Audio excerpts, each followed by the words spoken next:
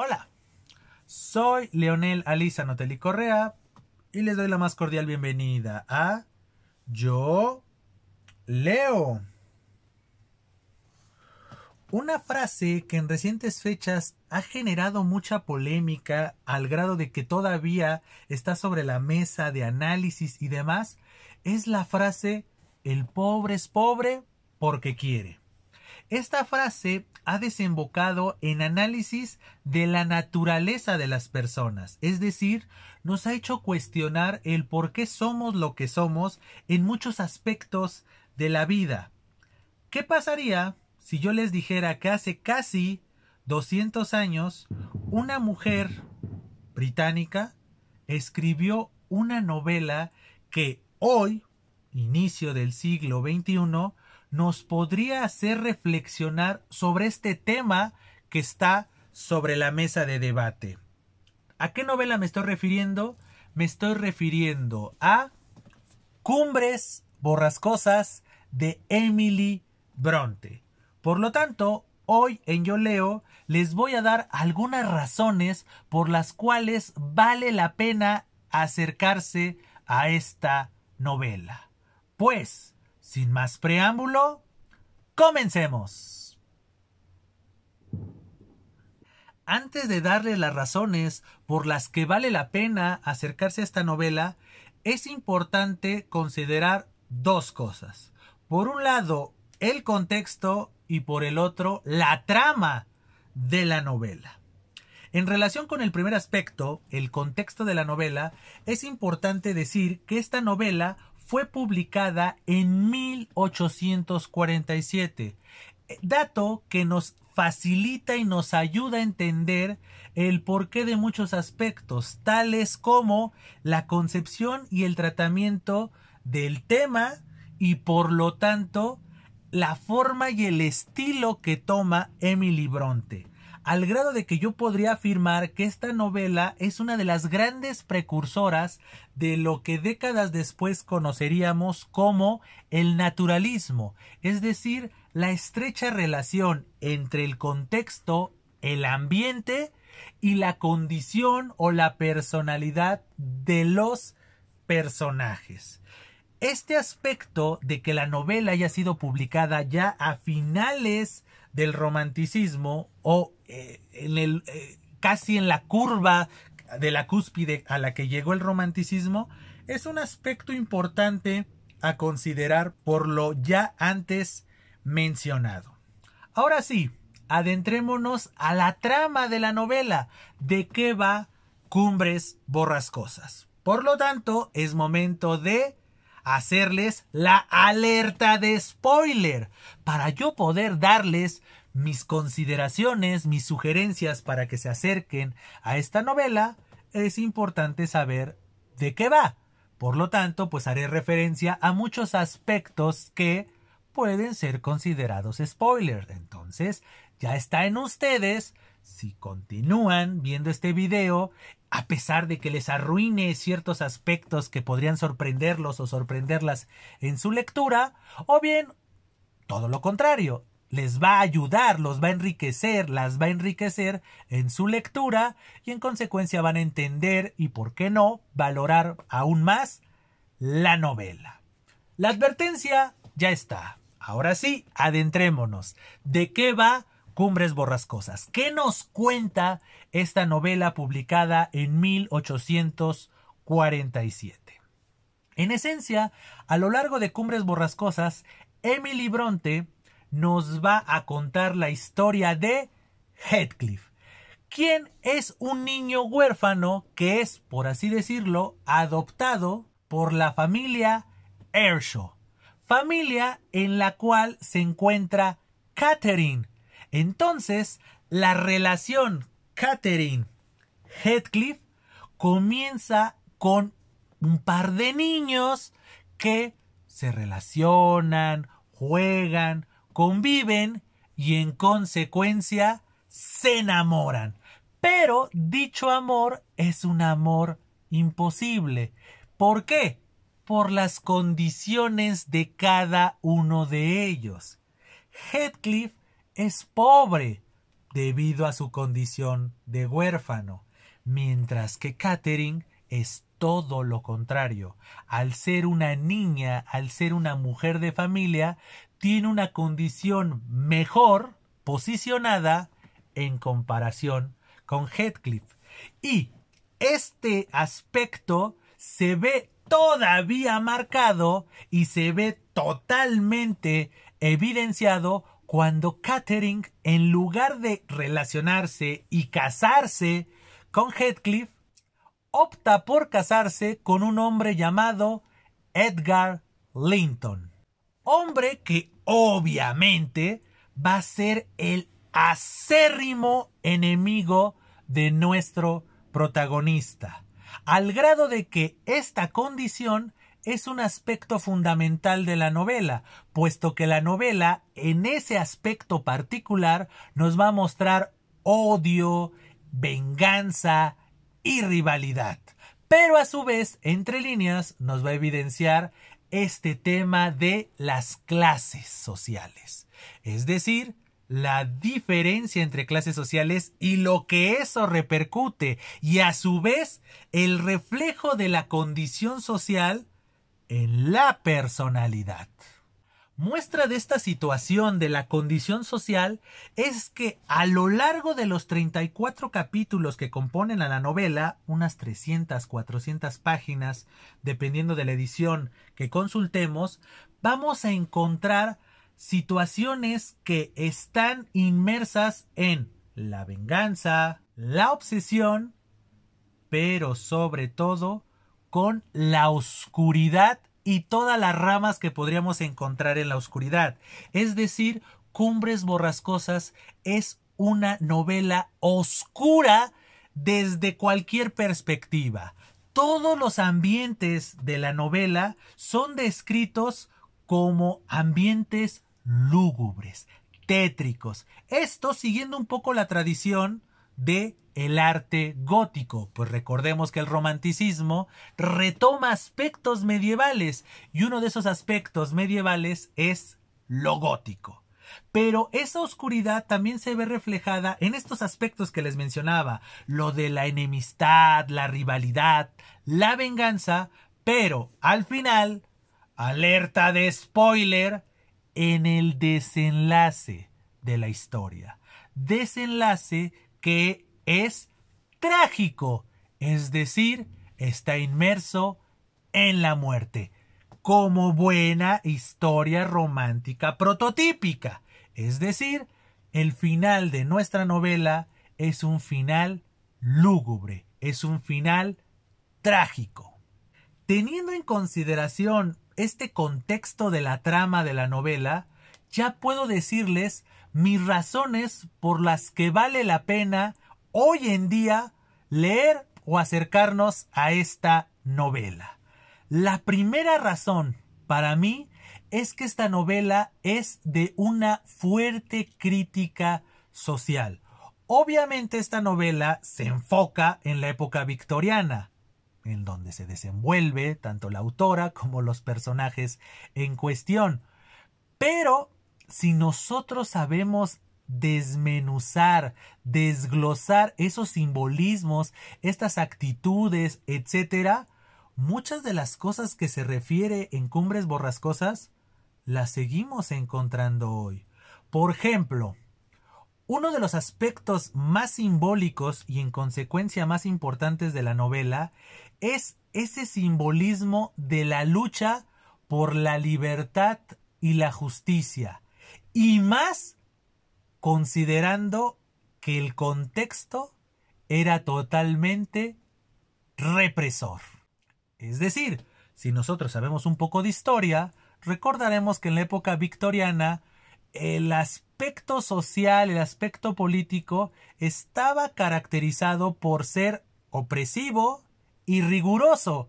Entonces, los personajes y las acciones que hacen dichos personajes muchas veces evidencian, ya sea este aspecto riguroso y opresivo, o bien esta lucha por la libertad y la justicia. Lucha que, contrario a lo que se podría pensar, casi 200 años de distancia, seguimos teniendo como sociedad, ya sea en lo macro o en lo micro, o ya sea de manera cercana o lejana. Pero esa situación de las sociedades represivas, rigurosas, y en consecuencia la lucha por la libertad y la justicia, es un aspecto importante, y más si consideramos las aristas de dicha situación. Esto que les decía al inicio del video, cuestionarnos la naturaleza tanto de las personas como de las sociedades o comunidades que crean, que protagonizan dichas comunidades. En consecuencia, el primer aspecto a destacar de la novela, mismo por el cual vale la pena acercarse a ella, es esta situación de analizar a los personajes, personajes que por medio de sus condiciones generan las comunidades o los contrastes entre comunidades. Situación que hoy seguimos viviendo. Y más si consideramos la denominada cultura de la cancelación. El segundo aspecto a considerar es el tema de la otredad, es decir, esta situación que hacía referencia al inicio del video en el que nosotros hoy en día seguimos cuestionándonos el por qué somos lo que somos, el por qué nos podemos o no nos podemos relacionar con los otros y viceversa, por qué los otros pueden o no pueden acercarse de manera amena, de manera cordial, de manera natural con nosotros, ese aspecto es importantísimo en la novela. Heathcliff simboliza y representa la alteridad, los otros, es decir, debido a su situación natural, el haber sido abandonado, el ser un niño huérfano, que después es cobijado por una familia de un estrato social o de una condición social totalmente diferente al de su naturaleza o al de su condición debido a su situación, nos hace tomar conciencia de este choque de aspectos tan inherentes no solo en la época victoriana, sino hoy en día. Vuelvo a insistir en esa frase que hoy está en las mesas de debates. El pobre es pobre porque quiere, y nadie se sienta a cuestionar, a analizar la condición de esas personas, el por qué han sido marginadas, el por qué siguen siendo marginadas, el por qué no pueden cambiar su condición.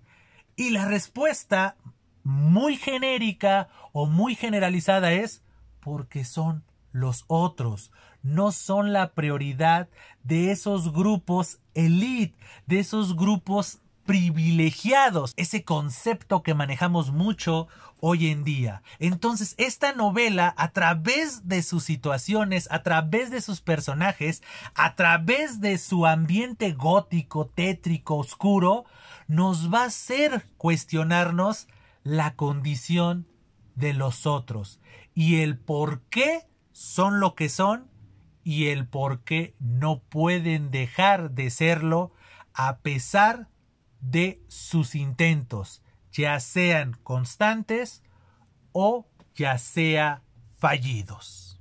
Y finalmente, la tercera razón por la cual para mí vale la pena leer Cumbres Borrascosas es por el estilo de Emily Bronte. No lo niego, es un estilo un tanto desgastante para aquellos a los que les gusta la literatura de acción, de movimiento, totalmente, todo el tiempo los personajes hablando, los, los personajes moviéndose, y Emily Bronte no es una autora con esas características. Como se los decía hace unos minutos, Cumbres Borrascosas le da demasiada importancia a los ambientes, a las personalidades. Entonces, en muchos momentos, en muchos capítulos, no vamos a ver este desbordamiento de acciones, de parlamentos, de discusiones entre personajes o de reflexiones entre ellos o de manera individual, de manera solitaria. Para nada. Es un, un estilo muy descriptivo, muy de el naturalismo, como se los decía. Esta novela, a pesar de que se desarrolla en la época romántica, para mí es una de las grandes precursoras del naturalismo. Este arte en el que las descripciones detalladas le van a dar sentido a la personalidad y en consecuencia a las acciones de cada uno de los personajes. Por lo tanto, si ustedes son de esas personas que les encantan los detalles nimios, es decir, aspectos que pasado el tiempo, en este caso pasados algunos pasajes, pasados algunos capítulos, le van a dar sentido de manera implícita y a veces de manera explícita alguna acción, alguna palabra o algo relacionado con los personajes y las acciones de los mismos, esta novela les va a encantar. No obstante, les advierto, si ustedes son de estas personas que les encanta la acción en todo momento, que ustedes nada más les gustan los paisajes, pero vistos, no leídos, entonces la invitación sería que se acerquen a esta historia, pero no en su versión novelística, sino en alguna de las adaptaciones fílmicas que existe.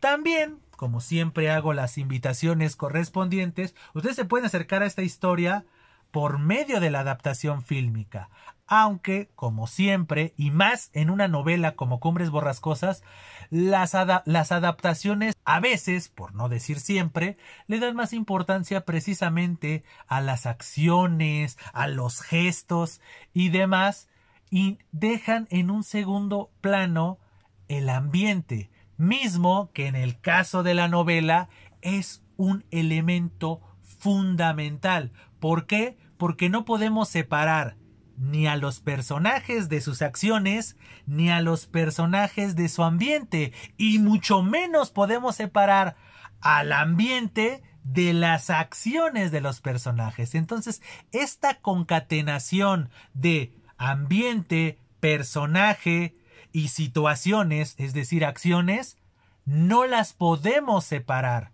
Y en la novela esta estrecha relación es inherente, es intrínseca, aspecto que en la mayoría de las veces no se puede ver en una interpretación o en una recreación cinematográfica. Pues bien, espero que este video haya sido de su gusto, pero sobre todo de su utilidad. Como siempre, antes de despedirme, les hago la cordial invitación a que se suscriban al canal, a que compartan este o cualquiera de los otros videos que se ha subido en Yo Leo, a su vez hacerles la cordial invitación a que estén al pendiente de las redes sociales de este proyecto, a que inviten a personas a integrarse a la comunidad de Yo Leo, ya sea suscribiéndose a este canal o bien siguiendo las distintas redes sociales. También les hago la cordial invitación a que en el apartado de comentarios me hagan llegar sus observaciones, ya sea de esta novela, de esta historia, qué piensan ustedes de la relación entre Catherine y Heathcliff, eh, qué les parece esta historia de manera general, qué prefieren ustedes, la versión novelística o alguna de las adaptaciones que ha habido en el mundo del cine a esta historia, o bien usar el espacio de comentarios para hacerme llegar observaciones, sugerencias o cualquier cosa que le abone a este proyecto. Y ahora sí, sin más que agregar por el momento, me despido, agradeciéndoles infinitamente su presencia y diciéndoles, estamos en comunicación. Hasta siempre.